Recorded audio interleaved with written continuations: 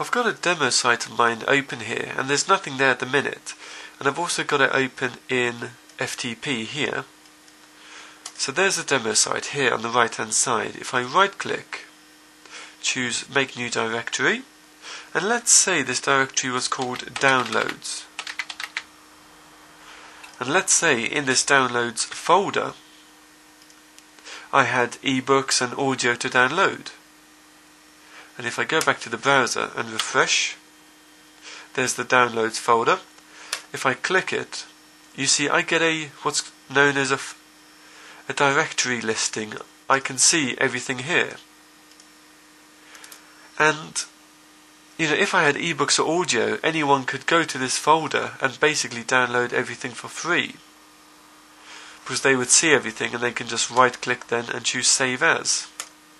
And there's a very quick and easy way to get around this problem.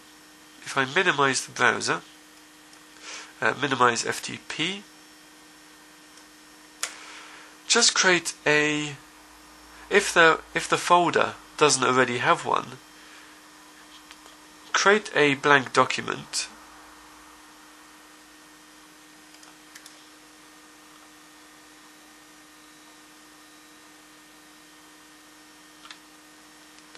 Okay, there we go. I'm going to rename this.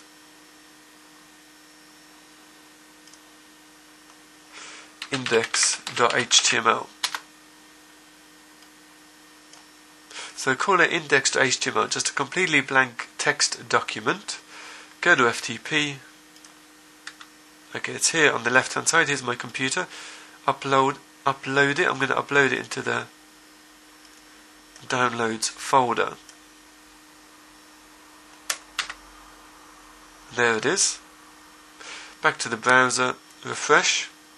So now, instead of a directory listing, I get a completely blank screen so I can't see what's in this directory. So this is a very quick and easy way of protecting folders where you have you know, sensitive or expensive well, sensitive documents or documents or files that people should be paying for. So rather than being able to browse your folder, your downloads folders, the contents are hidden from view, and that's really how it should be. So this is a very easy way to do that.